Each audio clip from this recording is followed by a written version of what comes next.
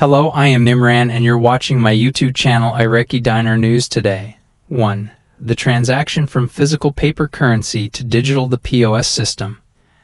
This sentence suggests a shift from physical paper currency to digital forms of payment, specifically mentioning the point of sale POS system. It implies a transition towards digital transactions and electronic payment methods. 2. Everything we have learned over the year that have never been accomplished. This phrase indicates that there have been significant developments or advancements in various areas over the past year. It suggests that knowledge and achievements that were previously unattained or unprecedented are now being consolidated. 3. It looks like they are all being put into, in essence, a basket that's going to come to fruition here in the next 16 months.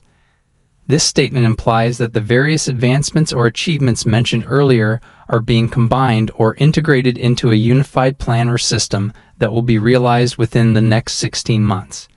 It suggests that there are upcoming developments or changes expected to occur within this time frame. 4. Guru Nader from the Middle East be patient until next year. Okay, it's not long 2024 between March and July next year. A new sound guru palette at the HCL. This part appears to be referring to a person named Guru Nader from the Middle East and suggests that they should exercise patience until next year.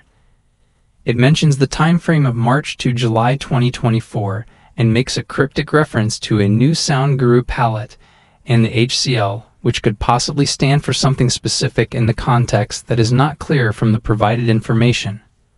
5. If the HCL were in the budget, I would think that the citizens would know exactly what they would receive in United States dollar value and the citizens would be talking about it.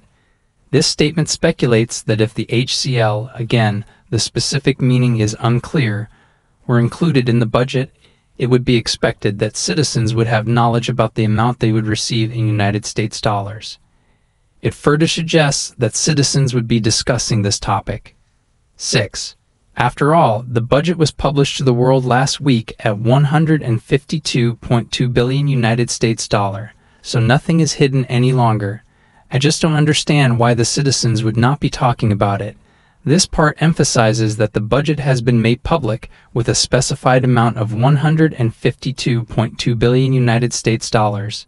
It implies that there is transparency and nothing is being concealed. However, it expresses confusion about why citizens are not discussing or talking about the budget despite its availability. Thanks for watching and subscribe for more information about the Iraqi dinar.